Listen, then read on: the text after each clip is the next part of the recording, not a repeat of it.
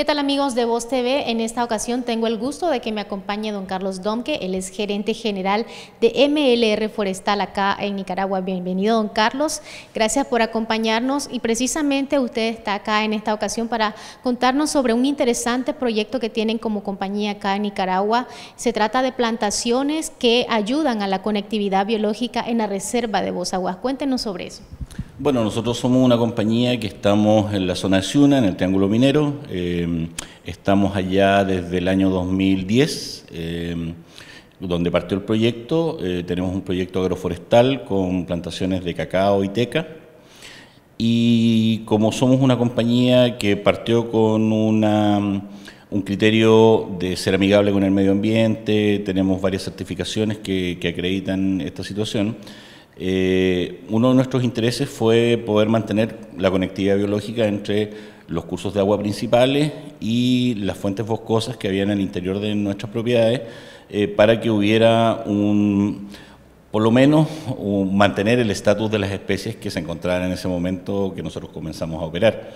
Eh, nosotros hicimos un levantamiento inicial en la compañía para poder ver cuál era la condición donde partíamos nosotros sobre nuestro nuestra actividad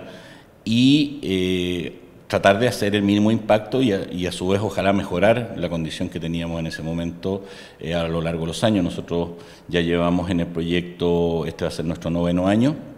eh, la verdad que estamos bien contentos porque los estudios y, y, todo el levantamiento que hemos logrado hacer durante este tiempo nos ha acreditado de que en muchos casos se ha mejorado,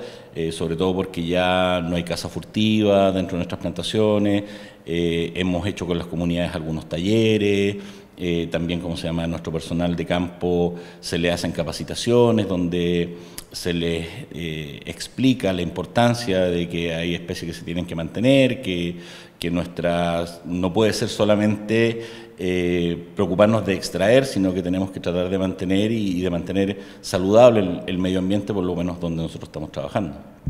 trabajan entonces bajo un modelo sostenible que protege eh, los recursos humanos, eh, los recursos naturales, perdón, eh, sobre todo en esta zona que es considerada una, una, una, zona protegida. Sí, bueno, nosotros estamos en la zona de amortiguamiento de la reserva. la verdad que la zona de amortiguamiento, nosotros lamentablemente, digo lamentablemente porque sería muy bonito ver otras compañías que estuvieran haciendo temas forestales también en la zona y al ser la única hemos tratado de por lo menos generar un impacto positivo. Eh, cuando uno tiene plantaciones forestales, el crecimiento de los árboles en sí eh, da un nuevo hábitat a algunas especies que, que, no estaban ya en la zona por el hecho de que no habían árboles donde poder realizar su actividad biológica. Entonces hoy día ya nosotros tenemos plantaciones de 8 o 9 años que ya permiten nuevamente anidamiento de algunas especies, permiten también el desplazamiento sobre todo de monos, de los homínidos entre, entre unos sectores y otros, eh, los frutos que producen eh, los árboles en el momento de, semillar eh, también son usados como alimento por algunas especies y eso va mejorando el, nicho ecológico en general en la zona. Sería muy bonito que hubieran más plantaciones y, más, sobre todo en la zona de amortiguamiento, eh, pero lamentablemente no han llegado nuevos inversores a esa zona eh, y la ganadería no ayuda mucho en el tema de conectividad biológica, lamentablemente. Ustedes este, trabajan también con un modelo en el que también utilizan mucho la tecnología eh, en el manejo de estos recursos. Bueno, nosotros tenemos un sistema de información geográfica, se hace un mapeo de cada una de las propiedades, esos mapeos se mantienen constantemente haciéndoles monitoreo. Eh, tenemos un monitoreo mensual también de avistamientos de especies. Eso nos va dando que a lo largo del año podamos generar un informe sobre los avistamientos de especies eh, que se publica en nuestra página web eh, para, como uno de los requisitos de nuestro certificado FCC y donde nosotros vamos constantemente revisando de que estén las especies, de que se mantengan tanto las de flora, fauna, anfibios, reptiles, o sea, hacemos, hacemos un levantamiento completo, no, no solamente de los árboles o, o, la macrofauna, sino que también de, pequeños, de pequeñas aves, de mariposa. El año pasado hubo un proyecto muy bonito con la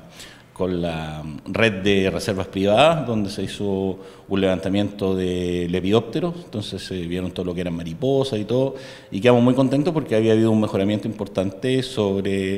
eh, la base que ellos venían y encontraron mucho más especies que las que venían pensando que iban a encontrar. Así que en ese sentido ha sido bien gratificante el hecho de que lo que estamos haciendo eh, por lo menos nos deja tranquilo de que estamos siendo amistosos con el medio ambiente que nos rodea y que está mejor que cuando lo encontramos.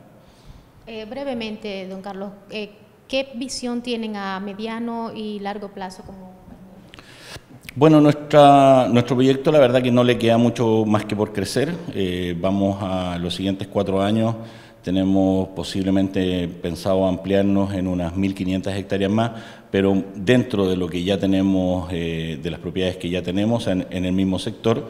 esperamos, ¿cómo se llama?, poder llevar a cabo algunos proyectos eh, nuevos con personas que de las universidades. Estamos tratando de ver si logramos un par de convenios para que se vayan a hacer estudios y levantamientos. Y la idea es que de acuerdo a estos estudios ir viendo cuáles son las cosas que están con problemas, en peligro o, o alguna especie que haya llegado que sea rara que necesitamos proteger y tratar de hacer lo mejor posible para que eh, podernos mantener como una empresa eh, que es amigable con el medio ambiente, o sea que nuestra, nuestra eh, generación no sea solamente de empleo y de un recurso como es la madera, sino que además el entorno en que estemos sea un entorno saludable gracias don Carlos por eh, darnos esta importante información, sobre todo porque mucha gente siempre está pendiente del tema del medio ambiente acá en nuestro país, eh, tomando en cuenta de que nuestro país es bendecido con un gran sinnúmero de recursos naturales al que todos estamos llamados a cuidar. Con esta información regresamos a estudios.